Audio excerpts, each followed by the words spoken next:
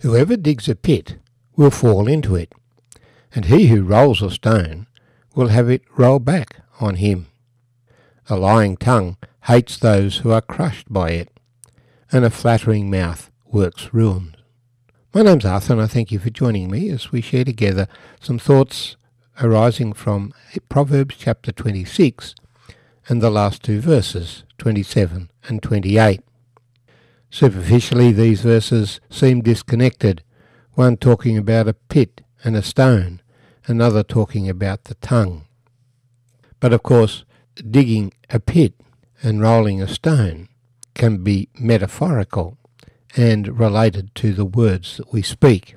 And when we put that verse in context, the preceding verses are talking about the lips that are full of deceit, disguising hatred, and the following verse talking about the lying tongue. So it's not unreasonable to apply verse 27 to the same topic and subject area. Whoever digs a pit will fall into it.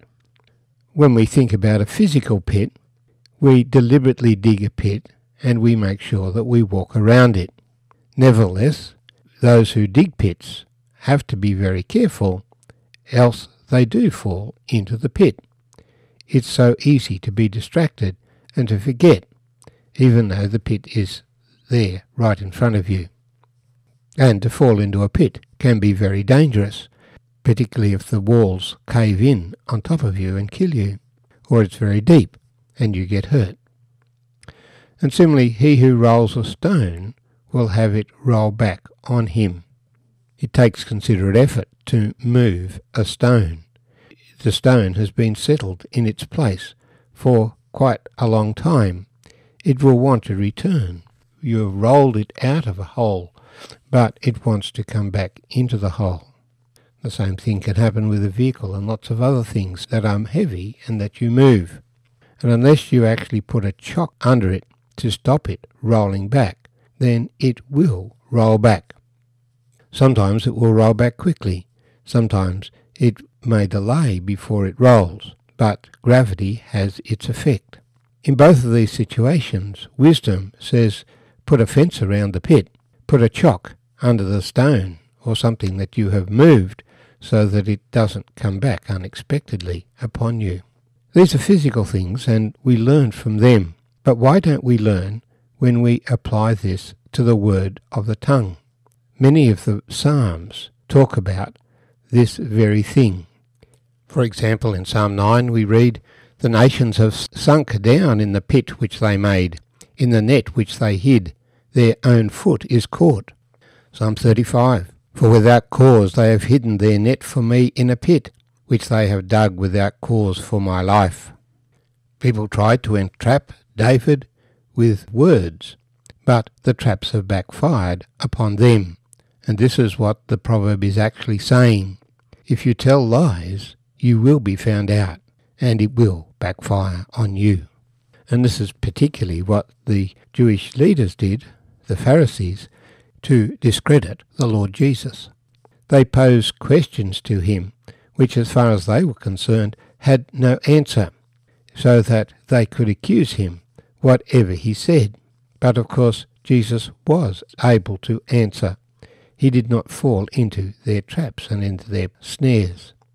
David prayed that the words people said against him to trap him would in fact be a trap for themselves. That's what happened to the Pharisees. They sent someone to Jesus to say, Well, Jesus, what do we do about paying tax? Their debate with the Herodians was, that we should pay tax because the Romans rule over us, or no, we belong to God and we should pay our taxes to God, not to the Romans. And this was a big debate in society. The Herodians saw their power base coming from the authority they got from Rome. They were keen that taxes be paid to Rome because the taxes came back to pay their wages. But then there were some of the Pharisees and particularly the Zealots, who wanted independence from Rome, and said, No, we should not be paying taxes to Rome. Jesus' response was, Show me a denarius with which you pay the tax. Whose image is this? It's Caesar Tiberius' image. Well, render to Caesar the things that are Caesar's, and to God the things that are God's. So those who sought to discredit Jesus, either saying he was not a nationalist because he supported Rome, or that he was in rebellion against Rome, ended up with egg on their faces, because God requires us to pay our taxes, to pay our way in society. He has appointed the governments in every nation, but he also desires that we honour him with all our being. That is just one example of the traps that people laid for the Lord Jesus, that they might have grounds to condemn him, a pit that was dug for him, but which the person who dug the pit ended up falling into. When the Pharisees and chief priests sent men to arrest Jesus, the men were in awe of him and came back without Jesus. And when they were asked, Why didn't you bring him? their answer was simply, No one ever spoke as this man. They were just in awe of what Jesus was saying, and they couldn't move to arrest him because it was so obviously wrong and in the crowd that was there, the crowd were hanging on to every word that he said. And to suggest in that context that Jesus had done something wrong was just completely unreasonable, and so they came back without him. Later they would arrest Jesus in the middle of the night, where there was no crowd around, according to the plan of God, whereby they would condemn Jesus for the sins of the world, that he would die, for the sins of the world, and be raised again the third day, providing salvation for all men, especially to those who believe. So we are talking about a lying tongue hates those who are crushed by it, and a flattering mouth works ruin, which is all related to the fact that he who hates disguises it with his lips, and lays up deceit within himself. When he speaks kindly, do not believe him, for there are seven abominations in his heart. Though his hatred is covered by deceit, his wickedness will be revealed before the assembly. We think immediately of a confidence trickster who comes along and shows great sympathy to a person who needs a little bit of help and ends up offering to do the banking for them, only to abscond with all their money. There was never any genuine love or care. It was all a big lie just to get into the person's bank account. This is a lying tongue and it destroys people's lives. It's easy to say something that discredits somebody, that destroys somebody, either speaking to them directly and crushing their spirit.